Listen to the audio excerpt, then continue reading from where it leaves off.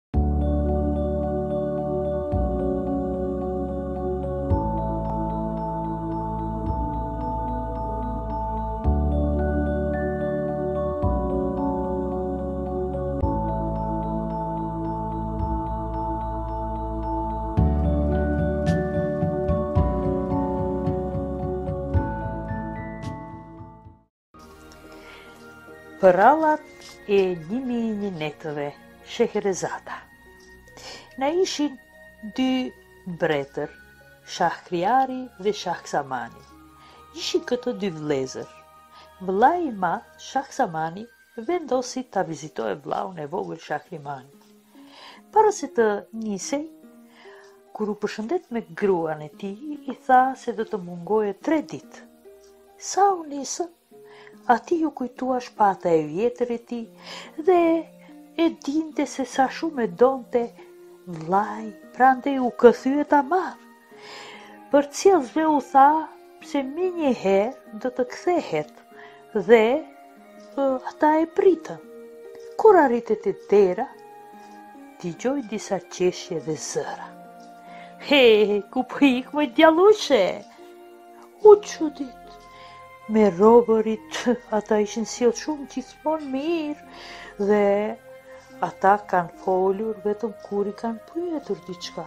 E tani vraponte robi pas gruas së tij, e ky u mbajt në mur prej habisë, se ishte duke u rrëzuar Gruaja e tij e re vraponte nëpër shtëpi gjysmë e zhveshur, qeshte dhe gajaseshte. Dhe robi e mbante në krah të veta. U tërbua prej zemërimit dhe hyri, ç'po ndodh këtu? Gruaja e tij u zbeh, e robi U shtang. A ashtu moj grua, akoma nuk jam nisur në rrugë, e ti po bjen në krahët e një robi? Aq ishte, tërbimi i tij ishte shumë i madh, e nxori shpatën dhe i vrau të dytë. Mandej e mori shpatën e vjetër, Për vëllain, doli dhe iu bashkua karvanit. Ishte aq i ndryshuar, i prishur në ftyrë, dukej aq i shqetësuar. Përcjellësit e panë, pastaj edhe e pyetën se ç'kishte ndodhur. Ai asgjë nuk u tha, as hante, as pinte, as flente. Zotëri, tha njëri, mos jeni sëmurë, A mos ju dhemb diçka? Po, ia ktheu ai. Shpirti më dhemb. Ja, arritën në pallatin e vëllait. E ai i gëzuar e mori në grykë të vëllanë. Mirë se vjen, o vëllai im. Shahriari e shikon, e shikon, vëllai ishte aq i dukej aq keq sa s'ka. E ky organizoi një gosti të madhe për nder të vëllait.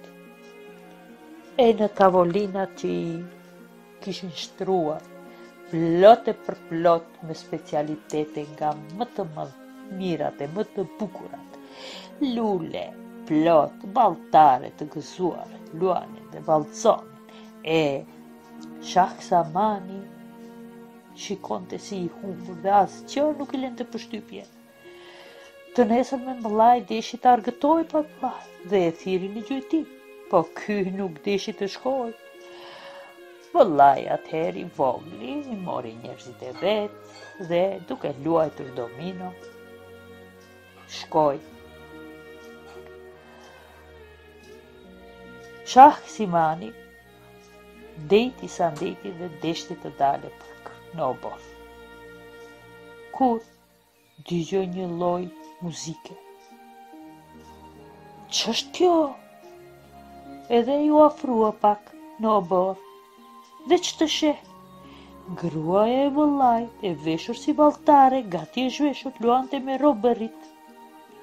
A është e mundur kjo bre? Edhe gruaja e vëllait qenka njësoj si e imja, bile ma e keqe. Tradhëtia e gruas aq e lëndoi sa ai e humbi besimin në të gjitha gratë.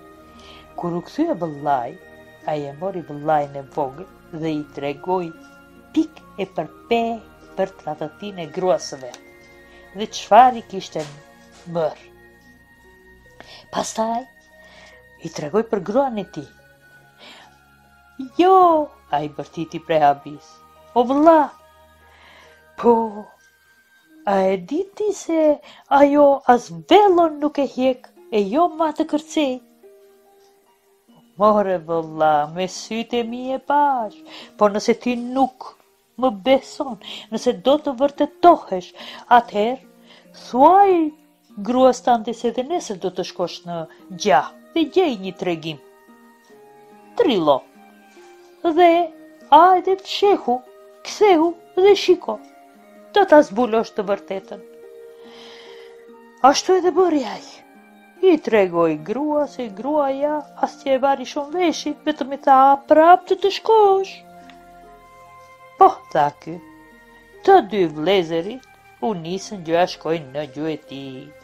Përcjellësit e mbretit shkuan Shahzamanit, Shahriarit. E, ato shkuan e këto të dy u fshehën pas një druri të madh. Dhe Nuk pritën gjatë, gjysmë ore, aq. Kur doli gruaja e tij, e veshur si valltare, kur nisi të luajë me robërit. He, ai, i tha të vëllait, more vëlla, po ti paske pas të drejtë, edhe gruaja ime qenka si e jotja. Por, Shahrimani Nuk e vrau gruan, por e dëboi. Bashkë me të vëllanë, të dy vëllezërit u nisën të shëtisin. Arritën në një liman. Përnjëherësh një stuhi filloi t'i çojë valët e detit lart dhe doli një tym i madh dhe i zi. Vëllezërit u habitën duke e parë tymin. U frikësuan dhe hipën në një dru të lartë u fshehën dhe shikonin. Pas tymit, Doli një xhind shpirt i madh, i cili në krye barte një sanduk të drurit. Kur ia hapi sa kapakun, aty ishte një vajzë shumë e bukur, si engjëll. Zonja ime, i tha shpirti xhind, unë dua të pushoj. Rri afër meje, a do të më ruajsh? Po, mos u mërzit, do të të ruaj. Ai u mbështet në drurin ku ishin vëllezërit dhe e zuri gjumi. Vajza dëgjoi një zhurmë, e çoi kokën dhe i pa ato, i urdhëroi të zbresin poshtë. Ata njëherë u hamendën. Nëse nuk zbritni do ta zgjoj shpirtin xhind e ai do t'ju hudhë në det. Atëherë ato të dy zbritën. Ajo u tha, hajde të dy tash të më jepni nga një unazë. E shihni këtë gjerdan? Dhe tregoi në qafën e vet. Këtu kam unaza 28 unaza. Do t'i bëj 100 dhe qeshi. Si duket nuk i njiheni femrat ju. Varet nga disponimi i tyre. Do t'ju japin dashuri, por edhe do t'ju tradhtojnë kur t'u teket. Shahrimani u mendua dhe u kthye në mbretërinë e vet. E vrau gruan dhe robërit. Shahsimani u kthye në mbretërinë e vet dhe sundoi vetë pa grua. Ndërsa Shahrimani bëri edhe më keq, vendosi që t'i vret të gjitha gratë e mbretërisë së vet. Çdo mëngjes, ai martohej me një vajzë, e në mbrëmje e ekzekutonte, me qëllim që mos e tradhtojë. Kështu, gjithë qyteti ra në zi, të gjithë frikeshin për fëmijët e tyre vajza që i kishin për martesë. Kur do të ndalet kjo çmenduri e tij, pyeteshin. Po s'kishte asnjë përgjigje. Vizirët e tij e shëtitnin vendin anembanë të gjenin vajza të reja. Shahriari, viktima të reja. Erdhi dita, kur viziri nuk kishte më vajza për mbretin, ai i kishte vetëm dy vajzat e veta, Sheherezaden dhe Donjazaden. Ai u tregoi atyreve se Kishte kërkuar dhe ma nuk kishte vajza në mbretëri. Dhe u tha se njëra prej tyre do të bëhet gati, t'ia çojë atij. Sheherezada ishte vajza më e madhe. Por që të dyjat ishin bukuroshe, të bukura dhe të mençura. Sheherezada kishte një dhunti, dinte të rrëfejë aq tregime të bukura, saqë ai që e dëgjonte, nuk donte ajo të ndalej, donte vazhdimisht të flet pandërprerë.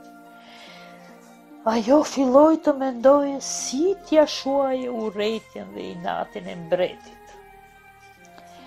Ndaj grave, e dinte se mbreti shumë donte të dëgjojë. Sidomos tregime të bukura. Kështu, vendosi që t'i tregojë atij, e ndoshta do të shpëtonte edhe veten edhe të motrën. Baba, nesër në mëngjes më ço te mbreti, i tha Sheherezada.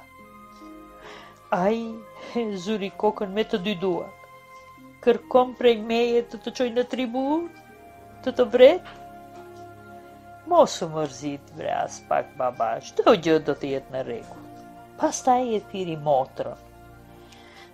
Edhe i tha, Doniazadë, Unë, në mbrëmje, kur do të më marrin, të më çojnë në tribunë, do ta lus mbretin, do t'i them, të lutem, a mundem të përshëndetem për herë të fundit me motrën e vetme që e kam? Dhe ai, ma merr mendja, se do të më lejojë. Ti, kur do të më sheh mua, Atëherë fillo të më lutësh. Të lutem, motër. Më trego edhe një një një një përrallë prej atyreve të tuave, aq të bukura që i tregon, aq fantastike që janë. Dhe unë do të them, nëse zemra e gurtë e mbretit mund të dëgjojë, atëherë do të shohë. Mbreti, i cili ka dëshirë të dëgjojë, në anën tjetër kur e mendoi se po kjo Doniazadja është e radhës e cila do të vinte në vend të motrës. Pa ani, hajt, ta dëgjojmë një herë çka do të tregojë. Dhe Sheherezada nisi të tregojë tregimin. Ajo aq bukur tregonte, rrëfente, e, e zuri mëngjesi dhe tregimi nuk i mbaroi.